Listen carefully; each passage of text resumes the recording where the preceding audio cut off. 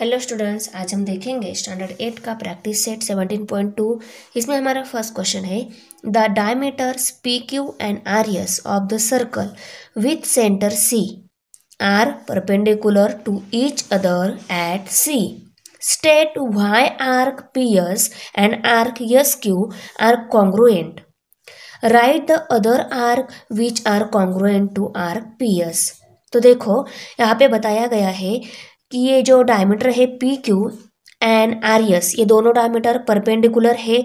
कौन से पॉइंट पर? सी पॉइंट पर परपेंडिकुलर है। और P S and S Q ये दोनों जो आर्क है, ये कॉन्ग्रुएंट्स आर्क है। और इसके इक्वल इसके कॉन्ग्रुएंट्स अदर कौन सी आर्क है इस सर्कल में, ये हमें यहाँ पे बताने हैं।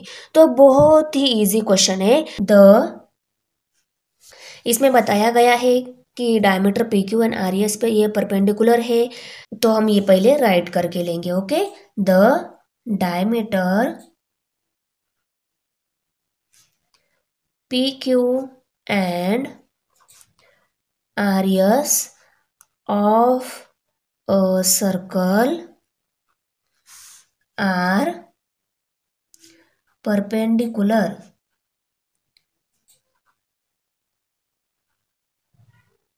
to each other at a center C. C centre पे वो दोनों डायमीटर परपेंडिकुलर है। इसका मतलब क्या है देखो? Measured angle P C S P C S means ये एंगल ओके ये एंगल कितना है? Ninety degree. उसके इक्वल ही measured angle, S, C, Q है। Measured angle, S, C, Q. इसके इक्वल ही ये थर्ड एंगल है, Q, C, R. Measured angle, Q, C, R. और इसके इक्वल ही फोर्थ वन एंगल है angle R, C, P. Measured angle, R, C, P. ये सभी कितने हैं? Equal to ninety degree. अगर सर्कल में दो डायमीटर है, वो परपेंडिकुलर है, उसकी वजह से उसमें जो एंगल फॉर्म होते हैं, वो सभी नाइन्टी डिग्री रहेंगे। तो हमने राइट कर लिया। अभी देखो मेजर्ड आर्क, पीएस। ये पीएस जो आर्क है, ये भी कितनी है? किसके इक्वल है? Measured angle P C S okay? P C S angle इतनी ही है वो आर्क, और वो कितनी डिग्री है? नाइन्टी डिग्री है। उसके बाद यस क्यू जो आर्क है, देखो, major arc S Q is equal to, किसके इक्वल है S Q arc? Angle S C Q.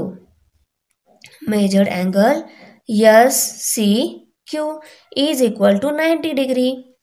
हमारा नंबर फ़र्स्ट ये इक्वेशन नंबर सेकेंड है।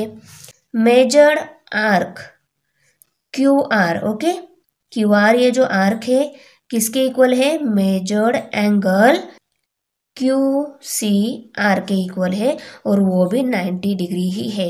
यह है equation number three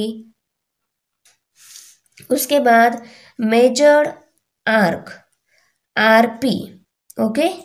Rp is equal to measured angle. Rcp is equal to 90 degree और ये हमारा इक्वेशन नंबर फोर है।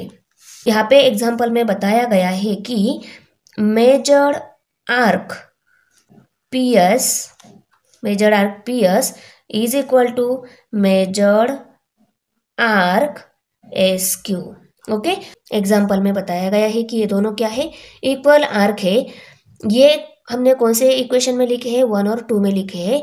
या तो यहाँ पे हम ए से भी लिख सकते हैं from one and two okay? ऐसे भी हम लिख सकते हैं। Equation number first third and fourth ये ऑब्ज़र्व करना है आपको। क्योंकि हमें क्या बताने हैं? आर्क पीएस जो है, उसके कॉन्ग्रुएंट अदर कौन सी आर्क है हमें बताने हैं। यहाँ पे देखो आर्क फियस अगर 90 डिग्री है Q R and R P ये दोनों आर्क भी क्या है? नाइन्टी डिग्री ही है। From first third and fourth हमने सेकेंड क्यों नहीं लिया? क्योंकि P S and S Q ये कॉन्ग्रुएंट्स है, ये क्वेश्चन में ही बताया गया है।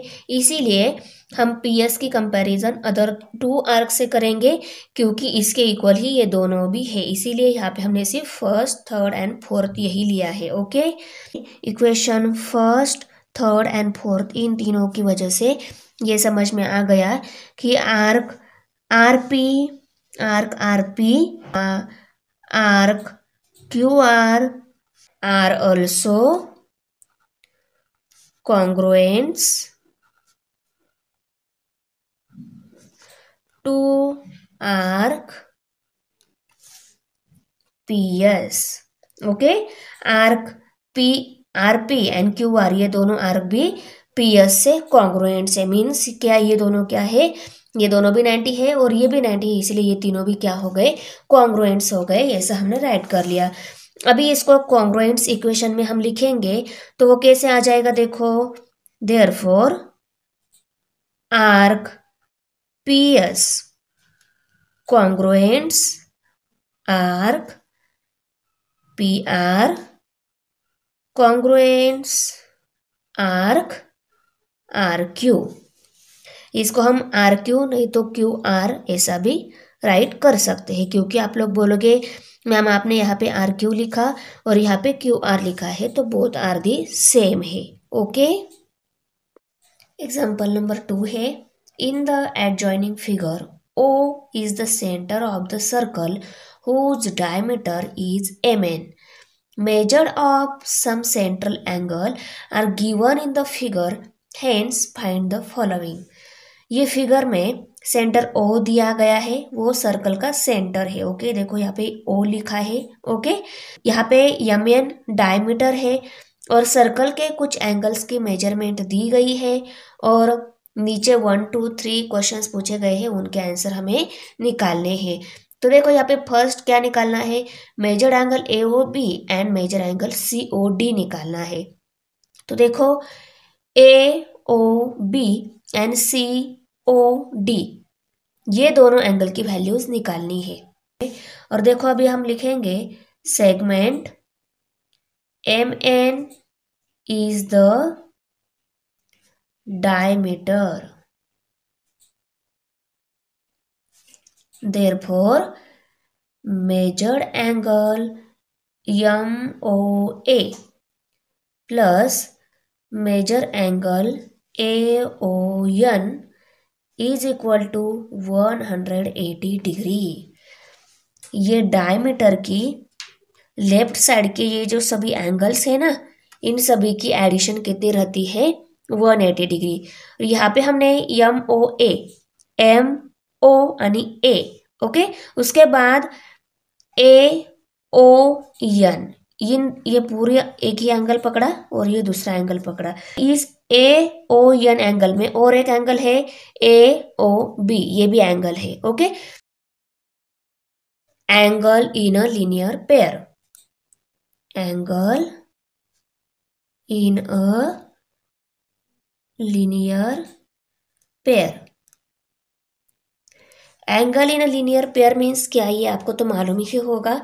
किसी लीनियर लाइन पे अगर कोई एंगल है तो उन सभी की एडिशन 180 डिग्री रहती है। जैसे कि ये लीनियर लाइन पे ये सभी एंगल जो है, इस साइड में लेफ़्ट साइड में, इन सभी की एडिशन क्या है? 180 डिग्री है। Same for right hand side M N इस डायमीटर पे, ये जो राइट हैंड साइड पे सभी एंगल जो है ना, इन सब की भी एडिशन क्या रहती है? 180 डिग्री ही रहती है। इसको बोलते हैं angle in a linear pair linear line पे जो एंगल्स है सभी, उन सभी की एडिशन 180 डिग्री ओके? देखो, अभी हम इस इस साइड में लेफ़्ट हैंड साइड में हमें ए ओ बी निकालना है ना? तो इसमें ए ओ बी ये एंगल पे आता है तो ये भी हम लिखेंगे। देखो, हम कैसे लिख सकते हैं इसको? Major angle M O A plus major angle A O B plus major angle B O N is equal to 180 degree B O N value पता है एम ओ ए वैल्यू पता है तो हम ए ओ बी वैल्यू निकाल सकते हैं।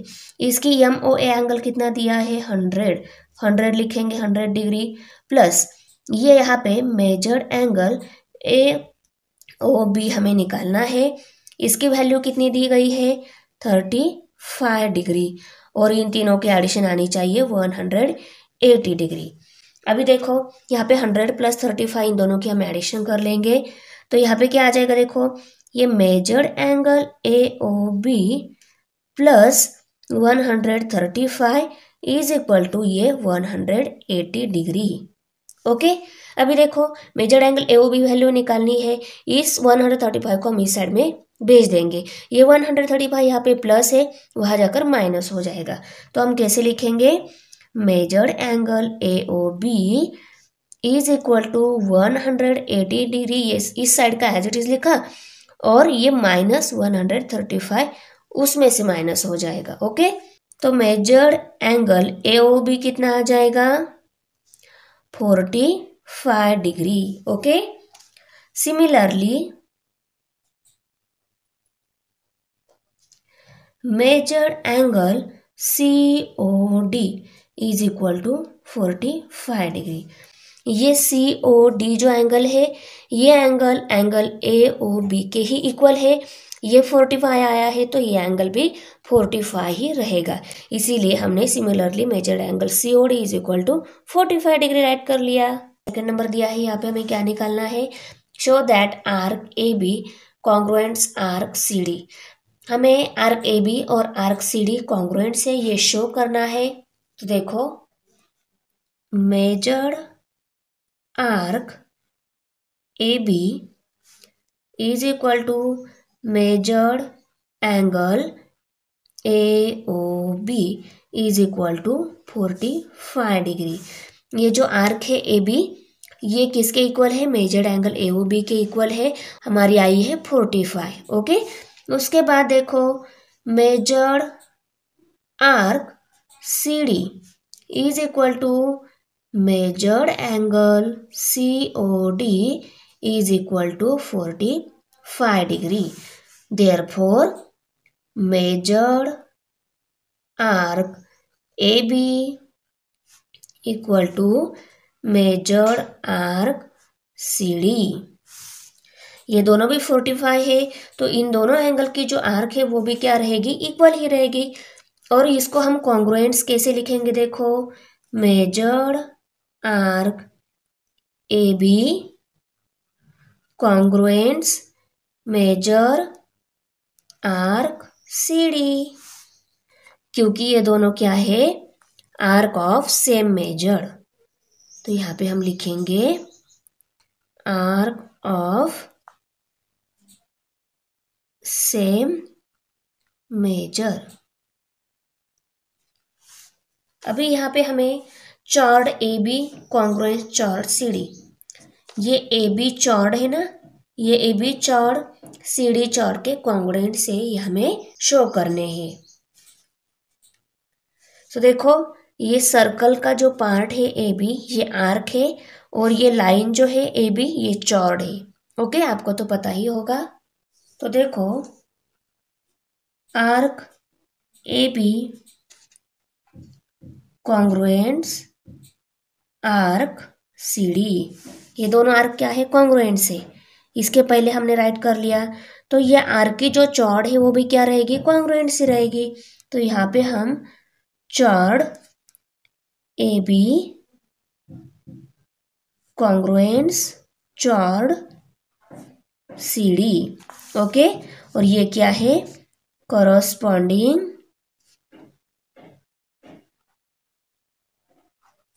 chords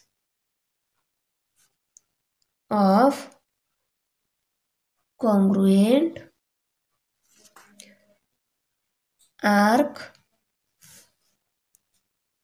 are congruent.